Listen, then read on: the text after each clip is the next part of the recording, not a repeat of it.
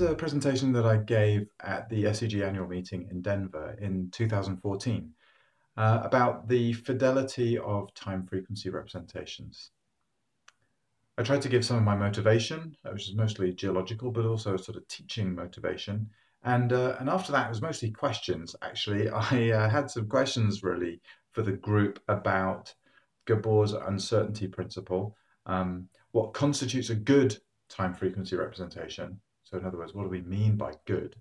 Um, some ideas about different ways of showing time frequency representations, uh, mostly not my ideas, and uh, some ideas around a synthetic benchmark and something that I think we could uh, use to, to learn more about what we want from um, spectral decomposition algorithms when uh, pertaining to seismic. So my motivation is mostly um, you know, I want to use spectral decomposition to learn something about the thing that the signal's coming from. So in our case, that's geology. Um, of course, these sorts of techniques of looking across a spectrum, looking at different wavelengths, very common in astronomy, for example, medical imaging, you know, where we might use X-rays, magnetic resonance, um, positron emission, um, ultrasound, all of these things to learn about different physical properties of the um, the thing in question. Um, and you know we've all seen lots of uh, pretty RGB displays of, uh, of seismic data where we kind of map different frequencies to the red, green, and blue channels of a color image.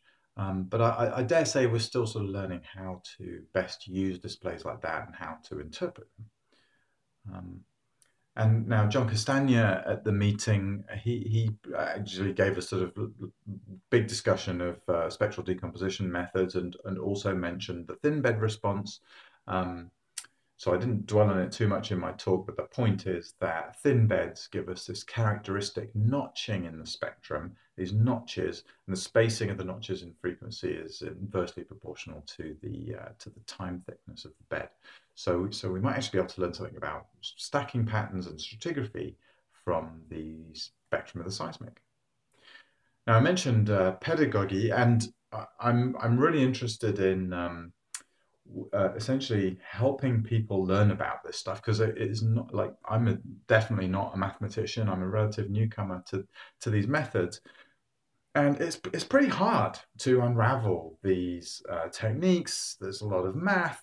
Um, it can be difficult to sort of get out. I'm a Python user, so I'm looking for Python libraries to do whatever matching pursuit or um, empirical mode decomposition and things like this. And then even when you find them, they may be poorly documented and no good examples and so on. And so it's quite effortful to reproduce uh, even basic results in a lot of these papers. Um, so, I mean, I'm, to be honest, probably the last person to uh, be helping you, but for what it's worth, I've put all of my IPython notebooks out in a GitHub repository. So IPython notebooks, uh, as, as, you can see here, mix text with code and images. So everything in here is, is uh, well, a lot of my displays are reproducible. Um, and my GitHub repository is here, um, github.com slash kwinkunks slash timefreak. Uh, help, help yourself, basically. So Gabor uncertainty, um, sometimes called Heisenberg uncertainty, or has various other names, um, the, the mm-hmm. point here is that these three um, these three quotes are fairly unequivocal about the lower limit of time frequency um, localization. So in other words, how well can we simultaneously know the timing of a signal and its frequency content? And what they say is that there's a fundamental trade-off, just like in um, Heisenberg's uncertainty principle, there's a trade-off between position and momentum in uh, time frequency analysis and spectral decomposition, it's a trade-off between time localization and frequency localization. So you can see them using words like fundamental trade-off, um, high frequencies are inherently low resolution, um, that, that there's a limit with which um, we can measure the instantaneous frequency, these sorts of things. And I actually asked the room who agreed with this, and um, well, most people kept their hand down, but about uh, five people put their hand up. Um, now, in contrast, these are some other quotes which I think are, are, sort of fundamentally incompatible with the first set of quotes, which seem to say that under some circumstances we can get around, we can circumvent the Gabor uncertainty principle. And um, there's a couple of quotes here that, that say this, uh, and with these sort of nonlinear um, uh, decomposition methods, nonlinear transforms. And I asked who agreed with this, and John Castagna raised his hand and was, and in the discussion later it emerged, was pretty clear in his mind that there was either no limit or a much lower limit than, than is implied by um, the uncertainty principle. So, so what is that limit?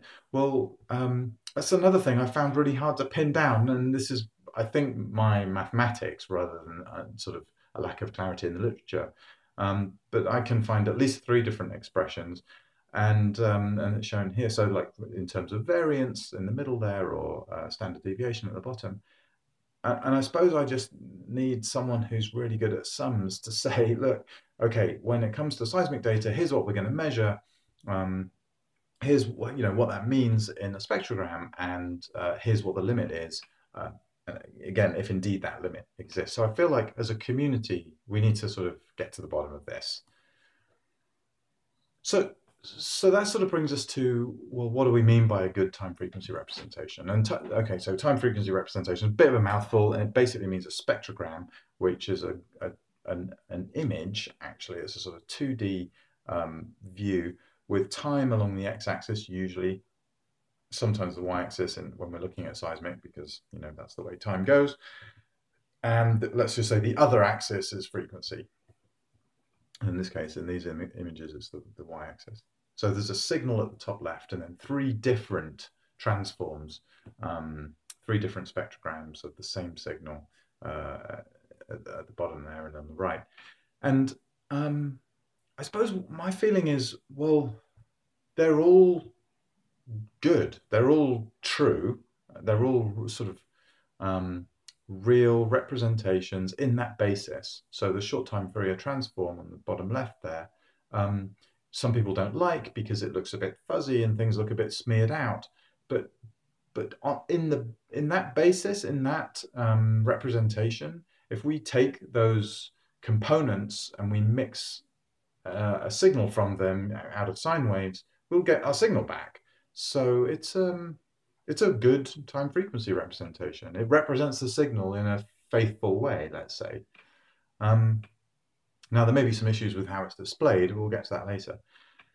Um, and and the same goes for the continuous wavelet transform, which has sort of confusingly different um, sharpness, if you like, in time and uh, frequency. Um, but again, we can combine those components to get our signal back. So it's in its basis, it is a reasonable and true representation of the signal. So I, I think we need to be more precise in our language when we're saying, oh, that's not a good time frequency representation, because we need to explain what exactly we mean by that. Like, what's what's wrong with it? What do we like about it? Can we just not interpret it? Is it somehow um, uh, we don't understand it in some way?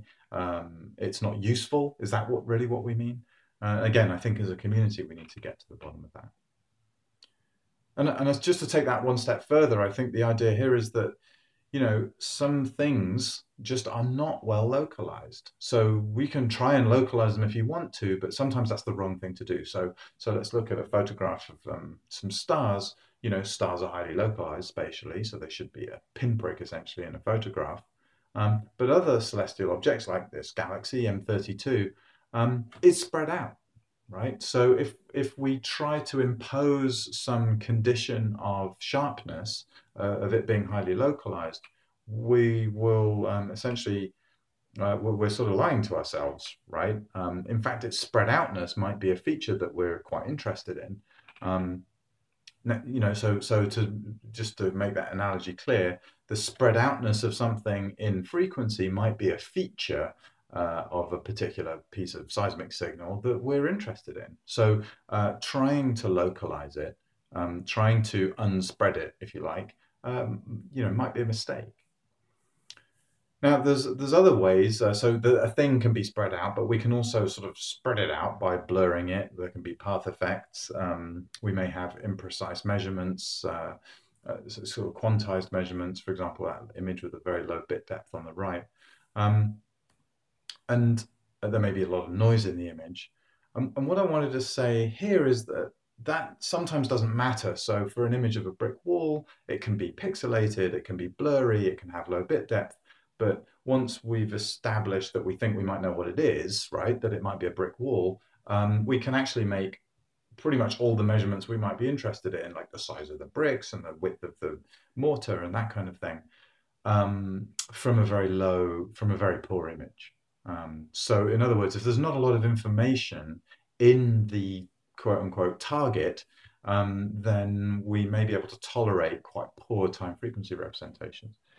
Now on the right here, we have a photomicrograph, which has a ton of information in it um, at all sorts of scales. And now suddenly um, poor sampling or um, you know it being out of focus or uh, low bit depth uh, matter much more.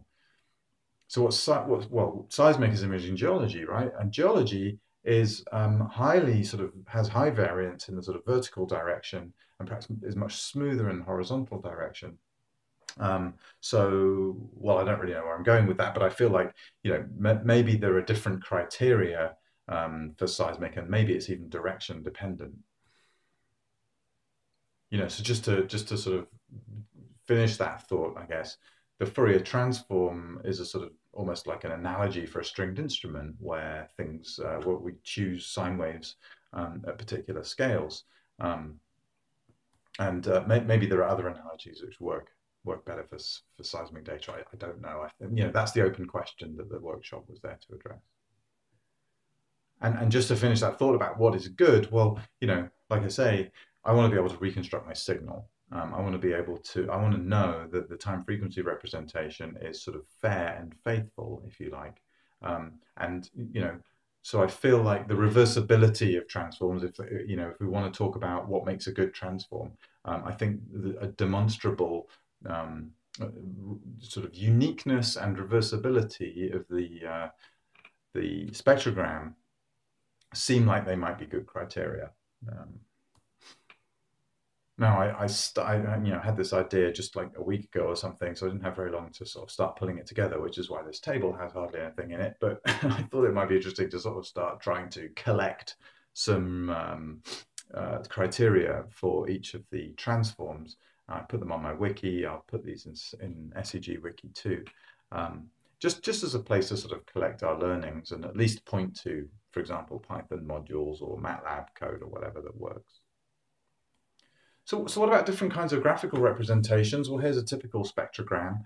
Um, this is in my STFT uh, IPython notebook, as I've indicated at the top there. And you'll notice it's slightly sort of fuzzy. Um, and, and I feel like actually there's a tiling of the time frequency um, plane here. You know, we can call that uh, the spectrogram of time frequency plane. And, and actually, um, there's a discreteness to these digital signals, uh, even after spectral decomposition, that I think we should represent. Um, so the tiling um, reflects uh, what what essentially what we're sort of allowed to know, if you like, about the signal. So in the regular time um, domain, we're in what's known as a Dirac basis, where we have perfect sort of time clarity, if you like, and no frequency uh, representation at all. In the Fourier basis, it's just the opposite. Um, and then we have the short time Fourier transform, which splits up the window by sliding a, uh, a, a, window along the signal and we get a little bit of time resolution, but we pay for it with some frequency resolution. And then on the right there and at the bottom, we have a sort of fully adaptive method uh, where we're essentially using different, you can think of it as using different length windows or different scales for each frequency. So we get these kind of um, uh, uh, perhaps odd looking tilings. So it strikes me that maybe we should be looking at these things in a sort of uninterpolated way. Um, you know, maybe we should uh, acknowledge the tiling essentially and reflect it in our displays of um, of spectrograms. So I, I, you know, I'm not claiming here that I've uh, done a good job of representing the tiling in a fair way, um, but I so all I've done is present a sort of uninterpolated image uh, where we can see the pixels. Um, but I do feel like this is a sort of first step to showing that tiling for any time frequency transform. That's something I'm still trying to figure out. Another thing that struck me is that we tend to throw away the phase information, and I thought, well, actually, we can use the sort of RGB style display um, to try and show phase too. Uh, so uh, instead of using RGB, we'll use the HF, uh, sorry, HSV space, and we can map the phase angle to hue because it is a circular property as well, uh, and we can map the saturation to the magnitude of the of the complex number um, and we'll just hold the value constant as a high number. Um, so we should get nice bright colors where we've got high magnitude and the color will reflect the phase angle. So, so here's that same spectrogram again, and we can see the pixels again too, um, which I kind of like. And, and now we can see the, the phase angle by color. Um, and now, you know, I have I essentially no idea what to make of this, but I'm sort of intrigued by it because the colors do seem to change in a systematic way in places. And, um, you know, this is, a, again, something I'm sort of still working on. I'd love to hear what anybody else thinks of this, uh, this display, because as far as I'm aware, it's, um, it's a, a novel display of a spectrogram. And, and, just to sort of uh, show what I mean by a sort of uh, the, the funky tiling that you get with these uh, variable scale um, transforms. This is uh, the S transform on a chirp. And uh, as you can see, we get very poor resolution um, in frequency or scale as it is here on the y-axis, um, where the time samples become nice and thin and we can see uh, exactly what the timing is. And here's another example that I just basically grabbed off the internet, um, a sort of intriguing looking display of uh, matching pursuit atoms. And uh, these were, I believe, computed from the scale of the atom and then um, calculating the implied time uh, localization from the Gabor uncertainty principle. And I mentioned a synthetic, you know, I, I feel like um, synthetics are great because we know exactly what went into them, but they're not very natural. Um, natural events, on the other hand, are great because they're natural and uh, they're realistic, so to speak. Uh, well, they're real, uh, uh, but but we don't know what went into them. We don't know what caused them. So you know we can look at the Tohoku earthquake uh, signal, for example. Um, but if we don't know very well the physical conditions that led to that signal, then you know, if I'm a person who's essentially trying to solve a sort of inverse problem by looking at spectrograms and saying, what does this mean about the Earth? Um, it's perhaps not the best way to learn about what's in the spectrum, and you know, and and therefore I would say to evaluate what makes a good spectrogram. I mean, essentially, we don't know what the features are, the salient features of the spectrogram are, so um, it makes it difficult to evaluate them. So.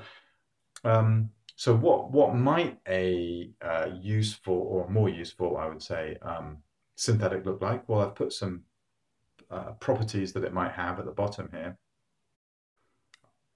So we've got naturalistic, uh, so natural-like, um, complex, multi-scale, just like geology. Uh, and um, if we're going to um, ha have a sort of complete signal, that's to say not just a reflection coefficient series, say, um, if we're going to sort of combine it with the wavelet, then the wavelet should be as natural as possible, perhaps even recorded. Um, we should uh, make sure we add reasonable random noise, again, perhaps recorded noise, and there should be reasonable, uh, realistic, um, coherent noise from, from imaging, say, so with multiples and that sort of thing. So there we have it. Um, I tried to cover these, uh, my motives, Gabor's uncertainty principle, what makes a good time frequency representation, I think, is an open question. Uh, I showed some some graphic representations, different ones, and um, talked a bit about this idea of a synthetic benchmark. And um, that's the end of my presentation. If you've got any feedback for me or thoughts about it, I'd love to hear from you. Thanks for listening.